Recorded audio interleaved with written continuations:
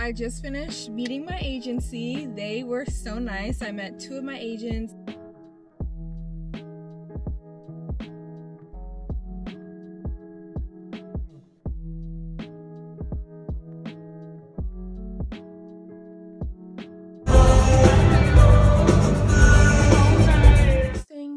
Sliding down my face. I don't know if anyone else uses like under eye patches and has the same problem, but this is annoying. Happy Wednesday. I am back home in North Carolina. If you guys have been keeping up with my channel, you know that I signed with a new agency here in North Carolina. I'm so excited about it. It's been a long time coming, but today I'm finally going to meet them. So I'm going to stop by the office in Greensboro. It's about an hour and 45 minute drive, so not too bad. But as someone who despises driving, that seems like a long time to me. So I'm gonna go meet the team, take some new digitals. Um, it should be a pretty quick meeting, like no more than an hour, and then come on back home. For my new models out there, it's so important to be able to meet your team in person if possible. I think since COVID, so much stuff has just translated um, to being virtual completely, but it's always nice to have that face to face human touch in-person interaction whenever you get the opportunity. So as soon as I landed in North Carolina, I was like, all right, let me get on the schedule to try to get to the office so I can meet everyone in person, shake some hands, exchange some hugs, and hopefully develop a solid working relationship. So that's the whole goal when you sign with a new agency. You want to have a solid relationship with your team, with your bookers, with your agents, um, because it'll just make your career easier down the road. And it's always nice to just have those have people in your corner rooting for you and supporting you and I feel like it is easier for someone to support someone they've actually met in person. Also, I've only been here for like a week and a half, almost 2 weeks, and I'm already noticing the difference between like the North Carolina market and the New York market. We are here. Alright guys, so I just finished meeting my agency. They were so nice. I met two of my agents. Like I said, the North Carolina market is definitely panning out to be very different from the New York market. Just like the pace of things, the way they want you to pose, the way they want you to smile. It's just very different from like what I'm used to in New York. It is going to be an adjustment, but I'm super excited. I'm up for the challenge and I'm ready to take on the Southeast market. I'm really hoping and praying that the clients like me and they like my look.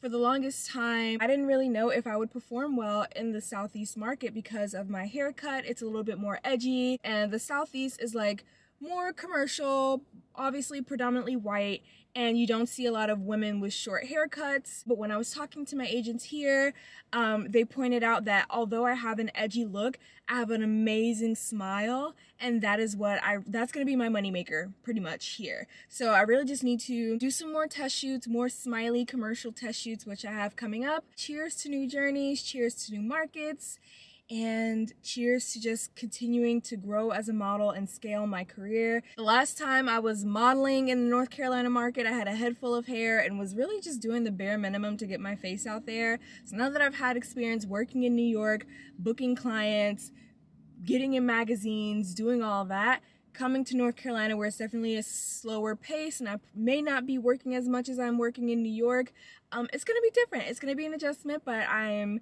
I'm ready for the journey. I'm just ready for a fresh start. I don't really have much going on for the next few days, but I do have to fly back to New York for work. So, of course, I'll bring you guys along for that, but that's not until Sunday, so I'll probably see you guys on Sunday. Okay, the thing about North Carolina is this is my second time getting on camera and like being in my car. I drive everywhere. It is absolutely obnoxious. I hate driving. New York has spoiled me with the public transit. That sounds like such a weird thing to say if you guys know what the MTA system is like. Oh gosh, it's hot, but if I turn on the freaking AC, it's gonna drown me out. Look how massive this, and there's like a pool section over there that I'm not gonna go to today, but it's just massive. Like, look at this.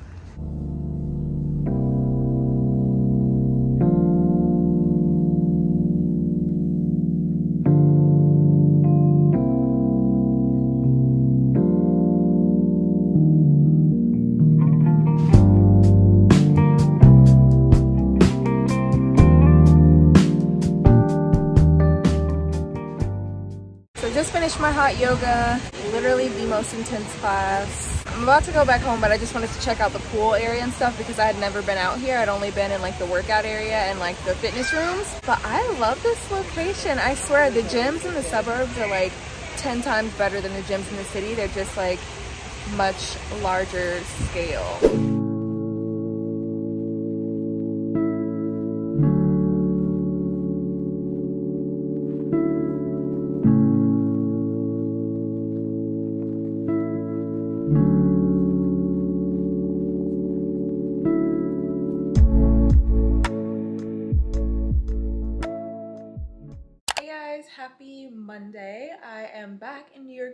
Feels so good to be back. I was talking to my mom the other day and I was kind of rethinking my decision to sublet early. Like I wish I had just stayed in New York for the three months up until leaving for Australia.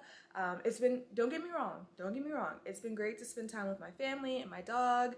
Um, but I just feel like, I don't know, my FOMO kicks in whenever I'm in North Carolina and I just feel like I'm missing out on a lot of potential opportunities um, that I could have taken advantage of had I been here in my own apartment, in my own space. But you know what? I made the decision already. Um, so kind of like my mom said, I just have to make the best of it. I am about to head to a shoot. My call time was originally 7 a.m., which was gonna be killer because my flight didn't get in until like 10 and then I didn't get here until like 11. Um, so yeah, I would have been exhausted, but at the last minute, my booker texted me and told me that my call time was switched to 9 a.m., which gave me enough time to actually fully wake up, do a little skincare routine, and just feel like my best self. So feeling good this morning, and the good thing is that the studio that I'm shooting at today is only like 15 minutes from my current place, so it's been a smooth morning. It's been a smooth morning. Okay, the body is giving, it's giving core.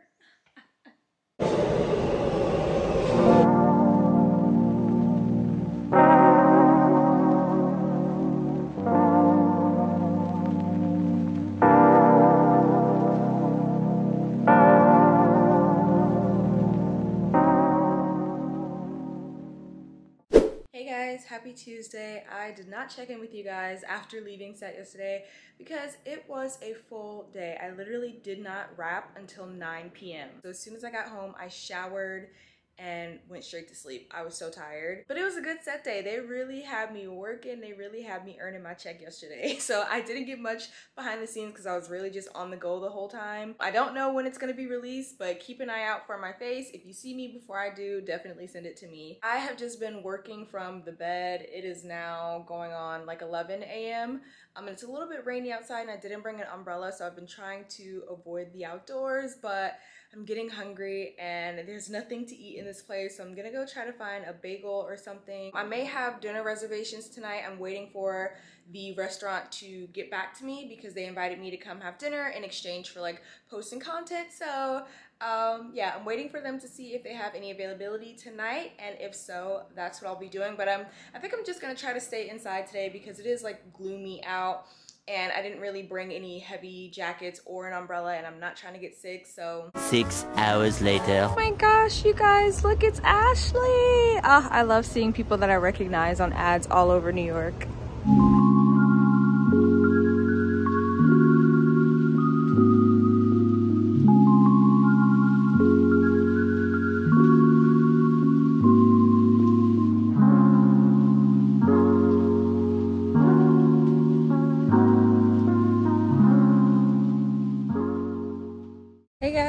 Wednesday. Mind your business, please. I'm out and about early this morning. I'm heading to check on my storage unit, just make sure everything is still good and dandy.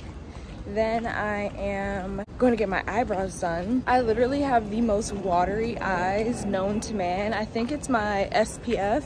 Every time I wear sunscreen, my eyes are just super watery once I come outside. I just feel like I look really crusty.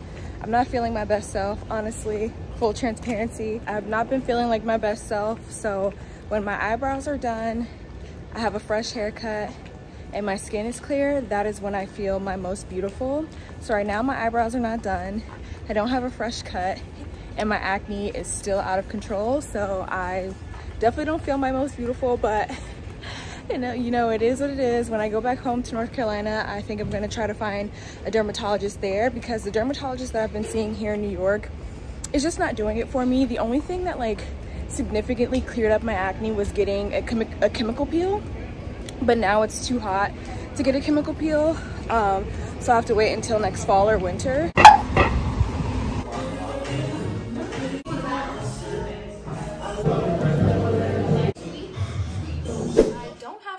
Anymore in New York, so really I could have gone home yesterday since I only worked on Monday.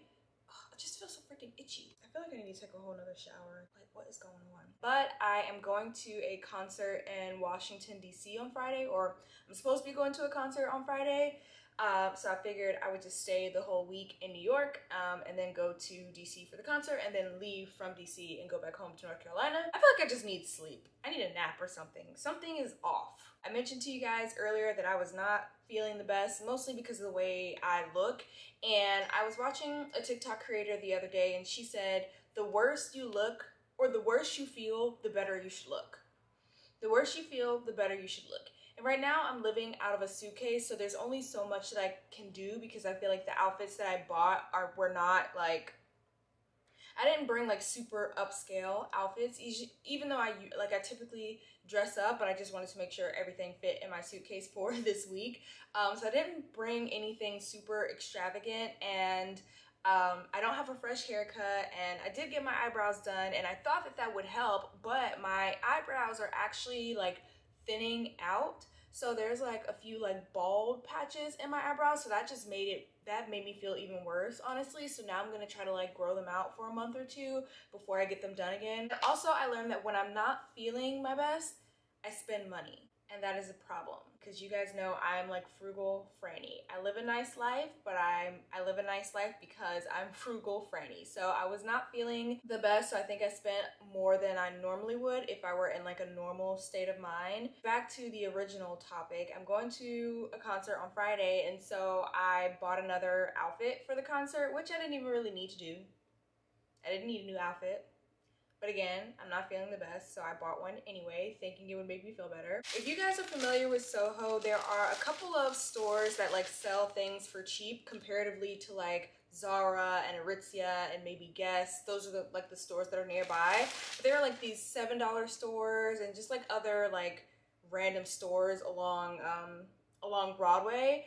And so I went to one of them expecting to find like a cheaper dress I spent more than I should have on this dress. To most, it's probably still cheap, but this was a $28 dress that should have been like $5. This dress would be like maybe $10 on Shein. But it's literally just like a skinny bodycon. I haven't even tried it on because this store doesn't doesn't have dressing rooms. Well, it has dressing rooms, but it doesn't allow you to try things on. And I hope that it fits, I hope it snatches me because they didn't have any extra smalls in this store. It was just like small through large. Um, so yeah, I got this. And then I was like, well, I need shoes to go with this dress because I don't want to wear flats. I want to wear heels, but I want to wear comfortable heels since I'm going to be standing for hours. Did I need a new pair of heels? No, I didn't because I specifically packed my black chunky heels that I know I can stand in for hours. I specifically packed those for the concert.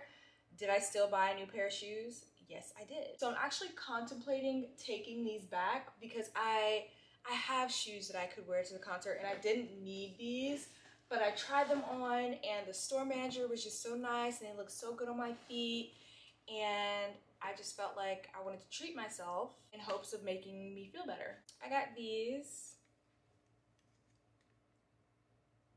They're cute and they're cute on my feet. And I've always been intrigued by like the heels that have like this little whoop-de-whoop, swoop-de-doop thing going on. So yeah, I got these were like retail 138 plus tax. I think I spent like 150 on these, which I feel like to the average American, $150 for a pair of shoes is probably not that expensive. Like I definitely have shoes that are worth way more than that. So I'm gonna try on the entire outfit tonight when I get back with this shoe and with the shoe that I already have. And if the shoe that I already have looks just as good, then I'm gonna return these and get my money back. Speaking of spending too much money, I'm about to meet my friend back in Manhattan. Um, we are going for tea, like a little tea party. I'm so excited. I was just scrolling on Instagram before I flew into New York and I stumbled upon this um, new tea shop in Manhattan uh, where basically you get like three tiers of pastries, desserts, and like savory. And then you get like your choice of teas all for $35. So I posted it on my Instagram story and I'm like, oh my God, like who wants to go? And originally I was just gonna go by myself, but one of my friends hit me up and she was like, I'm down. So we are gonna do that and I'm super, super excited. I don't know where that Southern accent just came from.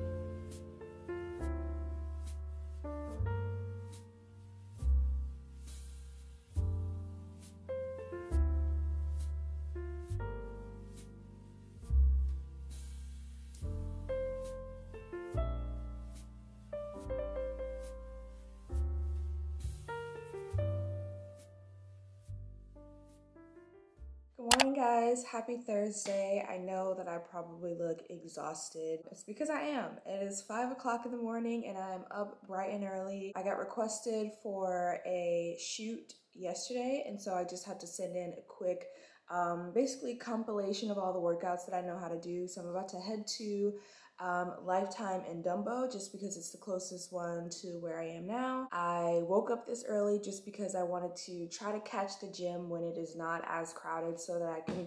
Ooh,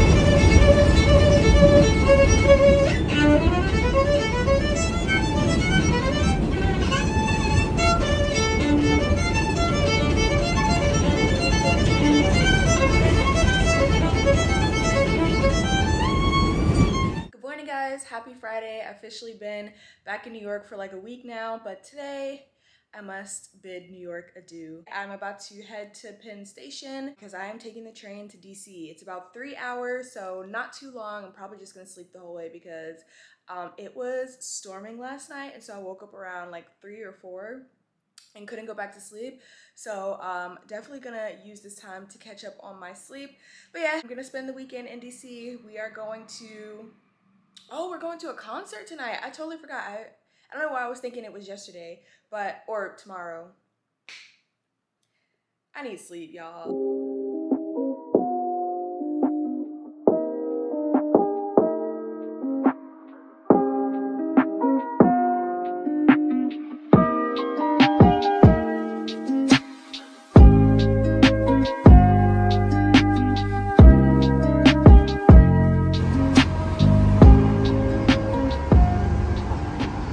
Guys, I probably look so sweaty and shiny right now, but I am just taking a little stroll through DC.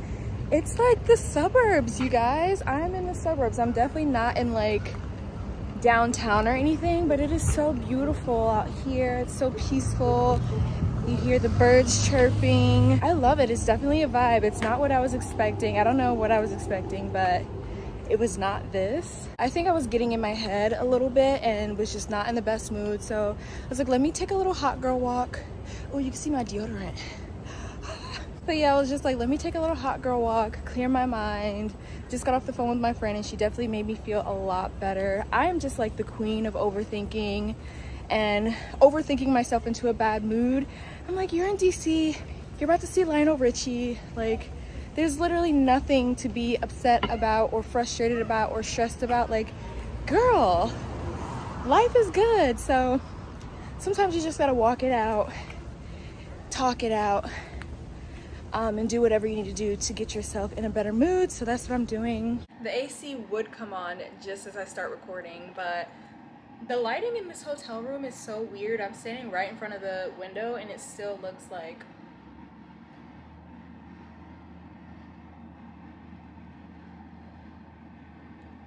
It's the wind for me.